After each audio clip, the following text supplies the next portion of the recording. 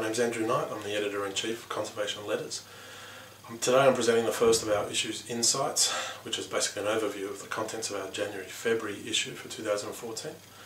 Opening the issue, we have James Watson from the Wildlife Conservation Society, who's presenting on potential impacts of human adaptations on climate change.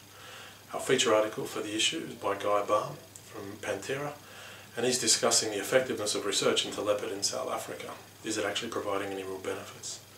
We then have two articles on threats to biodiversity. The first is from Brazil, which is looking at non-native fish species, and the second is from Indonesia, looking at broad-scale oil palm and the impacts of that compared to small-scale production. We have a controversial study that's looking at the benefits of electricity pylons as opposed to the negatives associated with um, bird conservation in uh, agricultural landscapes. We also have an overview from Natalie Ban, which is presenting a framework looking at systematic conservation planning and its potential for ensuring conservation of marine biodiversity. There's also an overview of public participation, looking at uh, the benefits of participation for achieving the goals of global environmental programs. And finally, we have a debate between David Lindenmayer and Edward Faison and their colleagues about the value of old trees for conserving biodiversity.